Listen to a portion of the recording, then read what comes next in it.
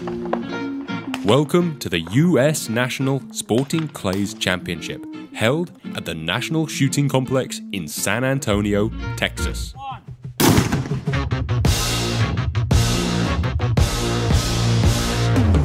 It's a nine day spectacle dedicated to everything sporting clays. You only get these for being really, really crap.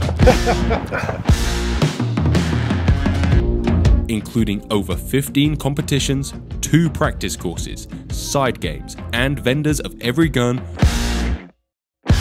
cartridge, and piece of apparel under the sun.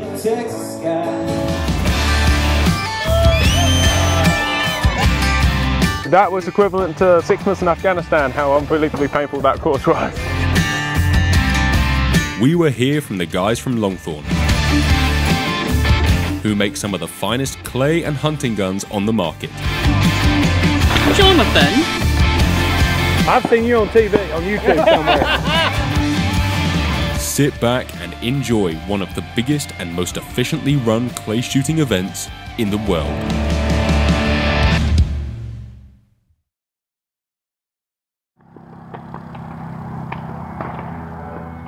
This event brings in staff from all over the world. I wanna go somewhere far away. One of which is Neil Chadwick, course setter and shoot chairman, who gave us a tour of the facility and gave us a flavour of the shoot. Can't take no more. We found a Brit, luckily, or you're an American now? No, still a Brit. Just about. Yeah, still got a British passport. Been here 30 years now. So this is Neil Chadwick, the shoot chairman. Right. Chairman, not shoot captain or shoot lord. Yeah, my goal really is to bring in a set of really good target setters so that they can put their own flavour on the different presentations that they set. Years ago, they just used to be two of us, but of course then the tournament was maybe, I think, 300 competitors. Now we're up to 2,300. 2,300 competitors. 2,300. How many events are there? 14. 14 different Yeah. events. Yeah, 14. All of them, apart from this one, 100 birds. Main event, of course, being 300 targets. And there's a practice layout as well. 16 practice layouts, two games, snooker, and a new game this year called Matrix. We've got ZZ Bird. That's uh, quite an ordeal to put on. We move approximately 450 machines to the different events, position the targets, where this year they actually put out over 2 million targets. 2 million targets. Yep. Yep. Wow. So this place is a mile by a mile, Basically a mile by a mile. We're on about 600 acres. and every acre is used. Every square foot. The main event is the real attraction here at the Nationals. 300 targets spread over four individual 75 bird courses. Three of those were set very normally, but the fourth, the green course, was very tasty indeed. There was an array of big distances, crazy angles, and super speedy edge on targets. Now the green course is kicking ass by design. You saw that. There- well, suddenly you're seeing targets over the 50 yard mark. You're Right. seeing some big, powerful, horrible, edgy stuff. right. good. Yeah. If any of the shooters have got have got a weakness, we'll find it. I was really disappointed that I didn't shoot the main event just for the green course. And although it damaged some scorecards, most people left with a big smile on their face. So this is not my gun, although it's, it's half It my looks gun. like your gun. It's the same action, but they're my barrels, my stock, They're all interchangeable. So this gun has got a serial number on that we can bring to the US. because I am terrible with paperwork, and once again, didn't do any. What's new with this gun, and it's not the same as yours. No. And it was specifically designed for the American market. Is it's got one of these. So this, unlike my gun, has a barrel selector, which is Amazingly amazing. the American market likes barrel selectors a lot. I love the fact that my gun doesn't have one because you don't need one when you shoot the same chokes in both barrels. And that's what I do with my gun. So I don't have a barrel selector either. However, You've been testing this gun and you didn't know, which means the barrel selector works fine. um, what we will find is that Sasha's get really annoyed because instead of the usual, which is this that I do, because I get to do this as well. Coles has a global reputation as the aftermarket Beretta specialists. And they have a permanent store at the NSC, so we popped in for a look. Rich Cole, you are Cole. That they accuse me of that on a pretty regular basis. You're Cole. Yeah, yeah. I'm Rich Cole. Custom Berettas Yes, is sir. your thing. That's that has been our thing. You know, I was trained by Beretta years ago and Okay. have a, a great relationship with Beretta and a tremendous passion for them. And of course, Beretta produces a product that is, even in their basic levels, is a very, very good quality product. So it's worth making it pretty, doing something special, making it personal. Because Beretta don't focus on that too much. They need to make a good and Yep, reliable product. that's and that right. doesn't leave Right. much room for customization. Like that. Yeah, like that, like that. Yeah. And you're doing the majority of this stuff in-house? Yeah, we do. We do it all in house. We do have a we do have a contractor that we work with that does the actual laser engraving. The solid color Cerakotes and things we do in house. When it gets to some of the artsy stuff that we do, um, a lot of these are like airbrush paintings of, Yeah. of things on there. You know, we have an outside contractor who has a tremendous. You're just finding the best of the best. If there's somebody that we can outsource to Yeah. that's more skilled than we are, we want to use That them. makes sense, you know? right? You have a fantastic website that I have put a lot of people into because you stock just standard Beretta wood set- uh-huh. sets, hundreds Yeah, of yeah, just yeah, normal yeah. Beretta wood sets. So If you have a WLL, you want a different wood on, you go for it. If you want a grade five silver pigeon stock, it's the place to go. It, it, it really is. Well, thank, you, John. for producing awesome Berettas. Well, thank you. And- you know, we we we've watched your videos. You know, I got I got to put the plug in, and you know, in, in our shop, we have a the we- we have a loop. There you are. You know what I mean? You'll come around there. You're on one of those because you you do a fantastic job. Thank you very much. Thank you very much, John. We'll see you have a great week. Once my gun was together and I was a few coffees more awake, me, Dan, and John went to hit up the practice course. Okay, before we go and shoot anything serious, they've got 16 stands to practice. It makes sense to practice because shells are slightly different, the clays are totally different. Let's just uh, see if we can find some connection. A wise man said to me, Until you have shot 4,000 targets in the USA, you will always feel a bit confused. So I shot 100 practice targets and hoped that this would help in some way. Or at least 2.5% of the way before we shot the 5 stand. There is a lot of going away targets uh, out out on the course, maybe not so much on the main, but I've seen. But in this practice, the first three are going away. It's an American thing, based off their hunting history. And I'm glad that I have new eyes. All right, that was the west side practice. We're gonna go check out the east side quickly, then it's back. Some kind of nourishment. I always think the practice should be hard, but it made practice the open and the practice here relatively soft. I feel like you should go out on the practice and be like bruised and your ego demolished. And then you go out on the actual course and you realize that you're not that. Whereas you go out on the practice, you come away feeling, you know, strong. And then you go out onto the competition and If Sporting Clays is a fun run and FITASC is a marathon, then 5 stand is a sprint. Especially when it's run as efficiently as this.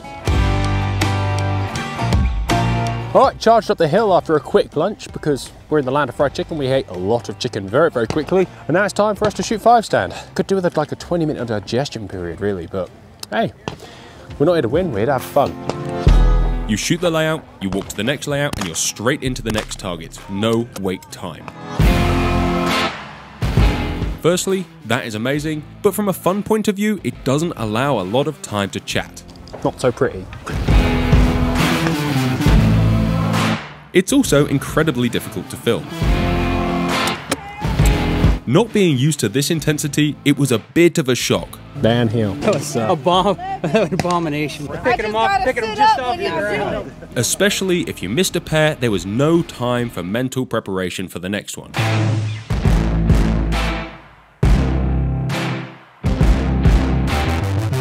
All right, we're two in. It's not too pretty.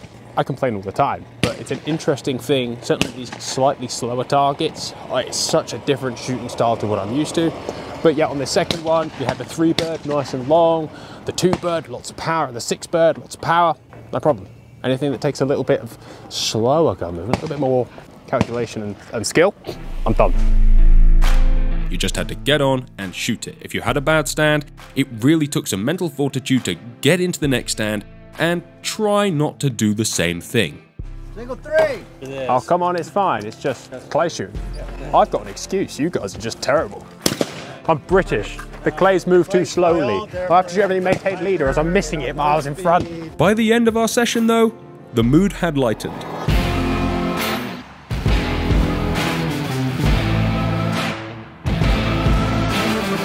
And with the aid of some great light-hearted refs, quite a bit of fun was had. Four, five, one. We got an 18. Epic, man. Well shot. Thank you very much. Thank you. Longthorne was stationed at Pacific Sporting Arms, who are one of their importers. I caught up with the owner, John Herkovitz, to learn a little bit more about that business. What do you find most people uh, shooting spec-wise? Is 32 inch a big thing here? Yeah, 30, 32. Uh, 32 is probably the norm. Probably 90% plus are shooting 32, but uh, there are some 34 inch barrels, some 33 inch barrels that we do. It's a different style of target, a different style of shooting. Right? It requires a lot of people are shooting big, big, heavy guns, super heavy guns. It's a little bit different than Europe, you know, where they tend to shoot lighter guns. But here, there's a variety of different manufacturers of guns, you know, so the weights change depending on what the customer likes. Yeah. How things going with Longthorne? Longthorne's great. Everybody's out demoing the guns. Everybody enjoys the gun. It's new. It's it's innovative, and uh, we're happy to have them. The more serious you get, the longer you do it, the better the gun you want. You know, The better the quality. Of course, we like the better engraving, and It's definitely I a agree. thing. Americans seem to want a way flashy gun than we would typically We do. see We love. home. I spent a lot of time in Europe. Uh, you know, pretty. You know, not a lot of engraved guns over there, although there are some. The wood quality, I think they're more into strength than they are beautiful wood. Americans like a little bit of bling. They love good wood, even though they have to understand the better the wood, the more chances it's going to crack. But they still love beautiful wood in the gun. They like beautiful engraving. and- It's, it's always worth the gamble in my head. Get super I pretty. agree. I agree. It's always fixable and replaceable. Yeah, Why? Why shoot an ugly gun? life is too short. Life's too short to shoot an ugly gun. That's true. It was an early start on day two for an 8 o'clock kickoff on K Cup. An event run with the same military precision as everything else here. 1,800 competitors get through this event over the week. It was described to me as soft. And yet I managed to make a rather big mess of it. Just one of those days. Yeah. Before my first trip to the US, Mr. Solomon said that I would miss in front. And this was the case here. Good morning and welcome to K Cup. A lot of people use this for warm up apparently, and it's never set too hard. It's a fun shoot. So two squads start on each. There's an A squad and a B squad. With the B squad, the A squad will go first, then leave to the next stand. Everything here at these American events seems to be run to a military precision. All we're waiting for now is the cannon, and they'll be straight off. Any minute now. Any minute now. Let's rock and roll. Stand 1 did not go well.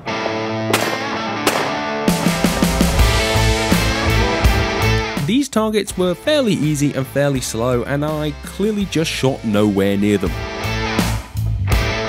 It had one going away target and then a simple rolling target. It should have been easy. if my other half is watching who's told me to go and see someone about my back for a while, she'll be going, I told you to go and see someone about your back.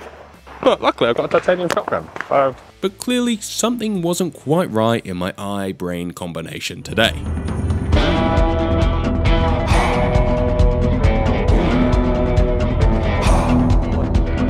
I know we complain every time. Should stop complaining and just Learn how to shoot. yeah, realistically. Not just shoot 100 birds, 200 birds and go home. That's bad. I loved this stand. It could have been shot either way, and between the team, half of us shot the MIDI first and half of us shot the rabbit first. there was a right to left rabbit that shot out and a big looping MIDI. You had the time to do it either way, but the gun speed you needed to shoot the MIDI first meant you had to slow down massively for the rabbit, and vice versa. Can you speed the rabbit up? If you shot that rabbit off the trap arm, you then had to slow right down for a nice big gap on a complex MIDI. Neither was right, neither was wrong, but it was a great stand to shoot. Trophy. Look at that. I basically won. Yes. Thank you, sir. For sir. missing the rabbit. You only get these for being really, really crap. After the first five stands, which were a mess, I slowed the gun down, slowed myself down, and started to rebuild the scorecard. Although it was too little too late. It's me. It's me. It's me. Out of the box, Dan was shooting really, really well. However, about halfway, he stumbled a little bit. Or else he would have been on for an amazing score. Big slow gun. Big ice. Yeah.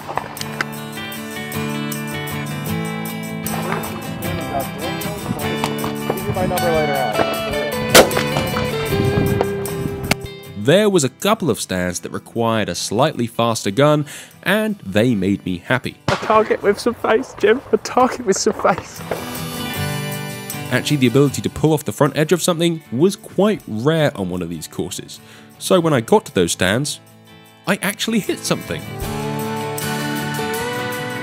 For sure, next time, I will shoot more practice and will set my gun up to be a little bit more American.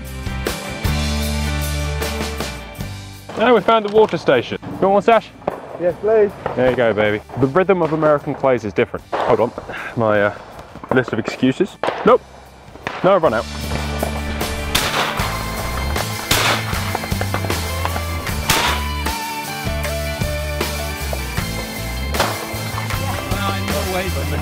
Yeah, the first or second version.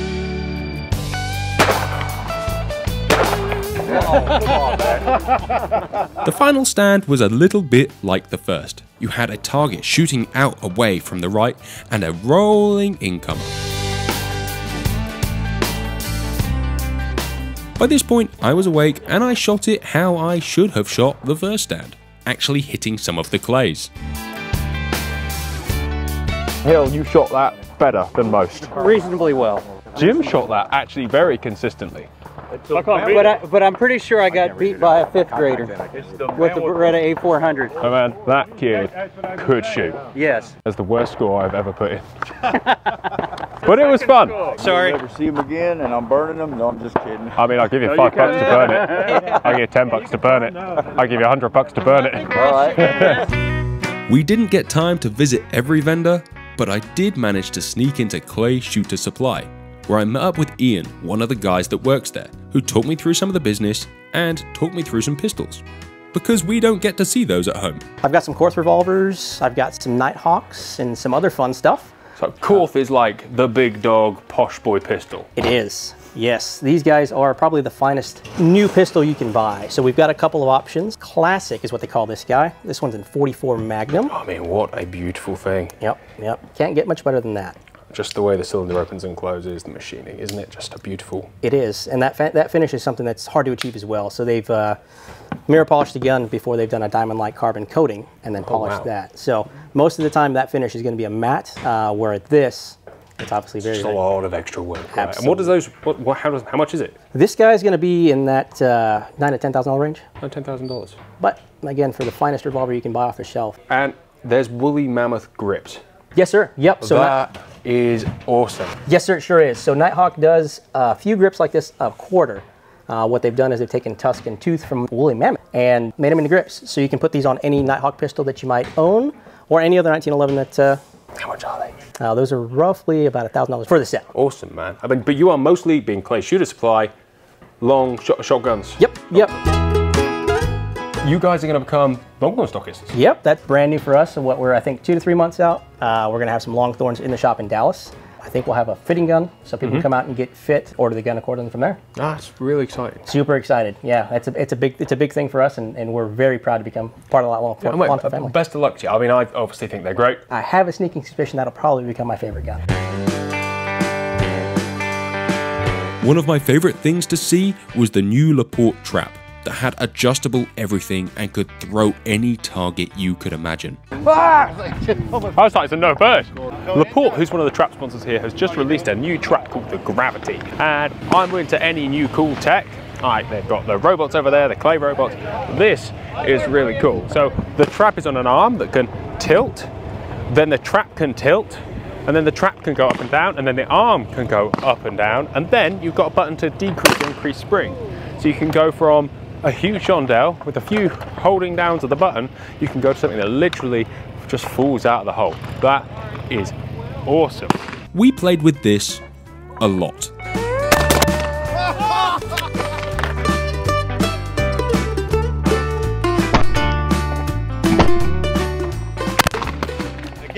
Yeah, yeah. But for all the movements, we use an actuator with a normal 12 volt battery. We only use like a 20 watt uh, solar panel. But these are Laporte clays, right?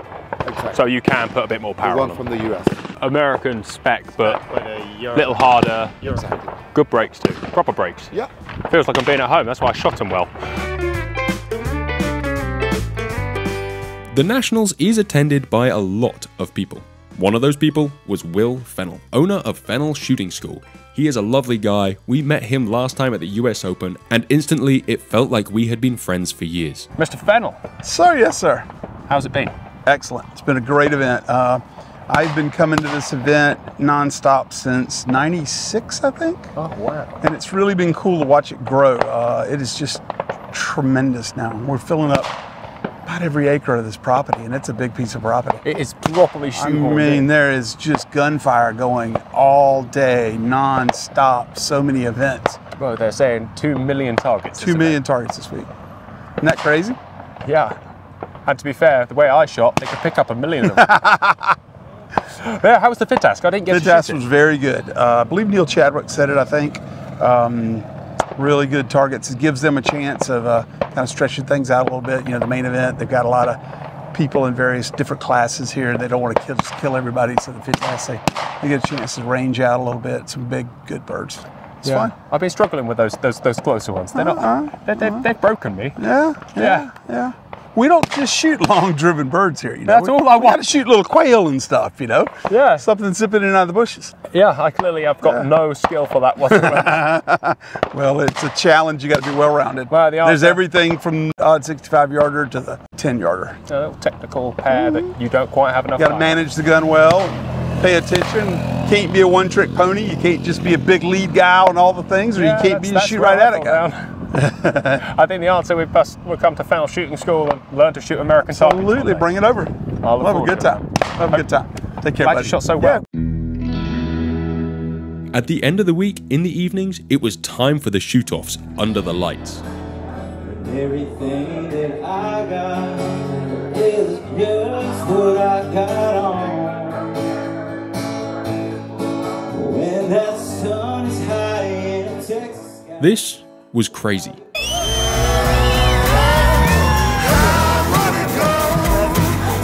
Huge crowds, a commentator, cameras everywhere, and the crowd whooping and hollering. Really excited to see these guys shoot. It was a great atmosphere.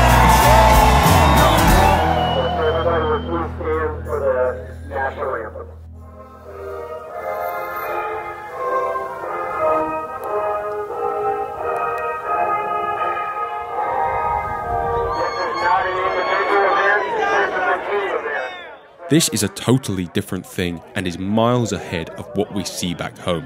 Everybody for one team's going to shoot first. And I loved it.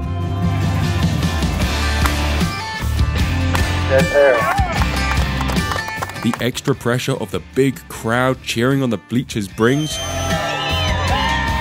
is not to be underestimated. This was one of the highlights of the event for me, and I believe for most of the people watching. It really shows a love and passion for the shooters and the sport that people will stay behind, really buy in to who wins these competitions.